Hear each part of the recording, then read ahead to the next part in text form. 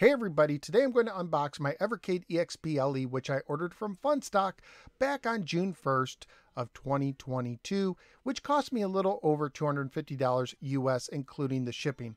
It was originally supposed to arrive near the end of 2022, but due to a mass theft, it just got here last week. The box itself is shrink wrapped, but my box did have small damage on the corner.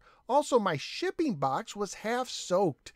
The post office said it had been left in the rain at some point. Thankfully, the inside was fine, but I'm curious if this happened to anybody else.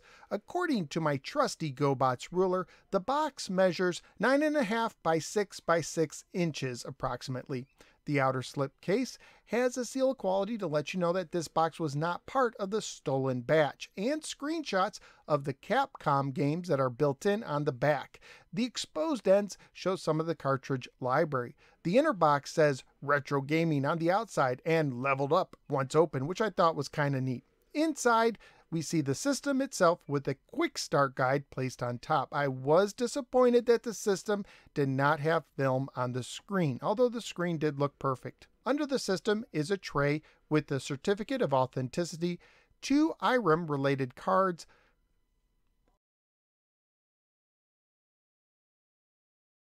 and Irem Arcade 1, the game itself.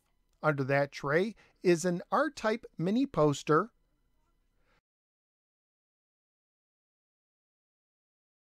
the USB-C charging cable, and Toaplan Arcade 1.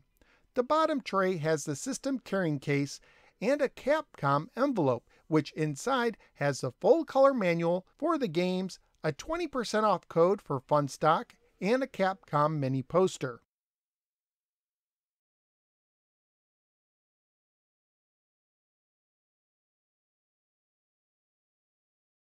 Inside the case is a cartridge shaped keychain. Not in the box, but included, was a case with not one but two rectangular screen protectors that fit over the screen itself. The screen protectors and the Funstock discount code were both included as a way to apologize for the delay due to the stolen units. I'm not sure of the limitations of the code itself or if it expires, so if anyone knows, please let me know in the comments below.